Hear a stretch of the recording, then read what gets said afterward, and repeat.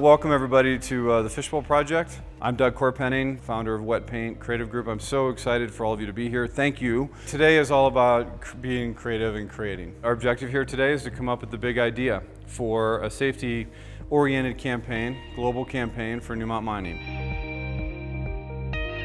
So Newmont is almost a $10 billion company and we're, we're embarking on trying to communicate our vision or desire around safety and zero harm. And zero harm is a, a, term used in companies where there's a big exposure to risk and, and injury and stuff.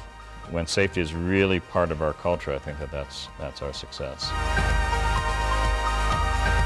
It's about an immersive experience so that all of the creative individuals on the team and the client can uh, immerse themselves within the whole world and idealism of creativity. Everybody grab a brush. Safety utopia is what we want. This is about creating, and there is no wrong answers. You're a trained painter. If you want something and you're not getting it, I'll tighten it up, make it look good.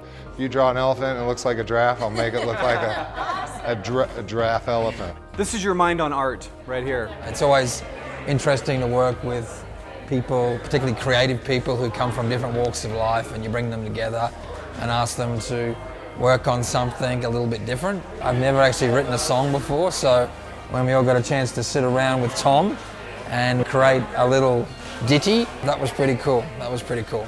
So then at the end of it, we took the art, the song, you know, all the different words that were generated through the human whiteboarding experience, and we sat down and get rid of ideas that weren't going to fit at all. So we arrived at some great ideas. What now we do is we walk away as a team, we let them simmer, we think about them, and uh, then we'll come up with what that unifying theme is, present it to the client, and that will then ultimately be rolled out to the rest of the world and uh, hopefully really connect with people on an emotional level, on a deeper level.